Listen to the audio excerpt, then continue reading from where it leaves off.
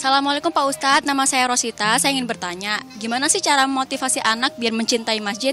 Terima kasih Pak Ustadz. Wassalamualaikum warahmatullahi wabarakatuh. Waalaikumsalam warahmatullahi wabarakatuh. Saudaraku, terkait tentang hal ini, saya juga pernah mendapati masjid-masjid yang tidak ramah terhadap putra-putri kita ini sehingga sampai ditulis anak di bawah usia tujuh tahun dilarang dibawa masuk dan seterusnya. Kaitannya seperti ini, bahwa anak ini kalau kita ingin melatihkan sebuah skill, sebuah keterampilan, kebiasaan, tidak ada tidak harus dibiasakan sedini mungkin.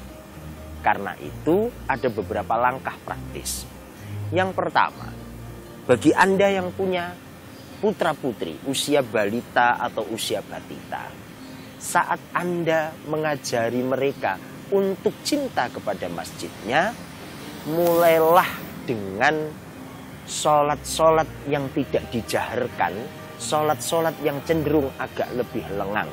Misalnya di sholat duhur atau asarnya.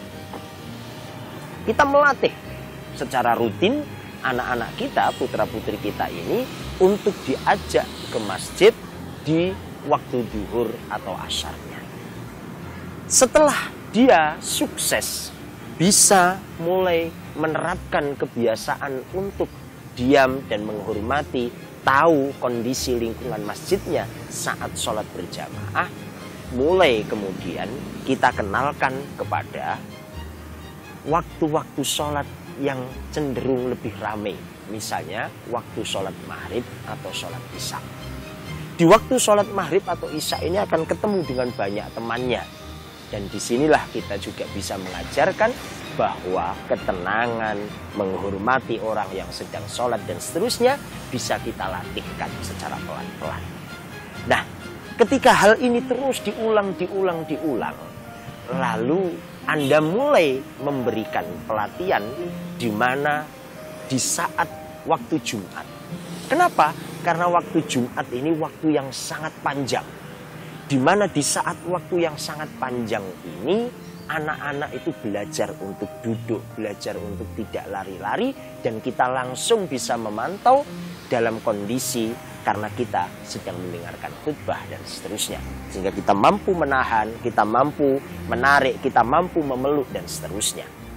Lalu yang keempat, ketika Anda sudah mendapati putra-putri kita, mereka sudah bisa tertib di dalam masjidnya.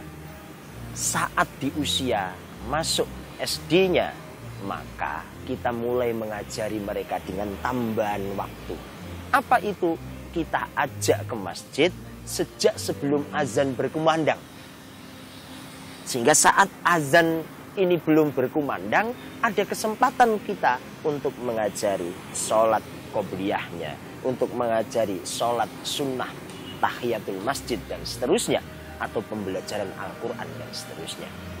Nah, terhadap empat langkah praktis ini, yakinlah saudaraku, hal ini tidak bisa dalam waktu yang instan.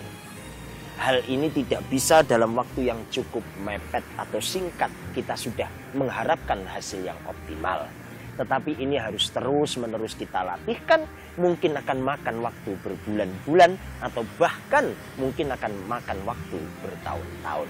Seyukyanya takmir masjid kita orang tua itu terus melakukan satu sinergi yang baik sehingga generasi kita menjadi generasi yang cinta kepada masjid untuk menegakkan sholatnya.